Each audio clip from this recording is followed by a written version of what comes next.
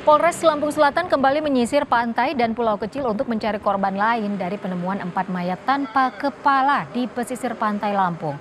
Pencarian dilakukan menggunakan kapal dan speedboat milik Basarnas Lampung dan Polari Polairut Lampung. Polisi juga telah berkoordinasi dengan tim SAR gabungan dan kelompok nelayan setempat untuk mengungkap identitas penemuan empat mayat tanpa kepala.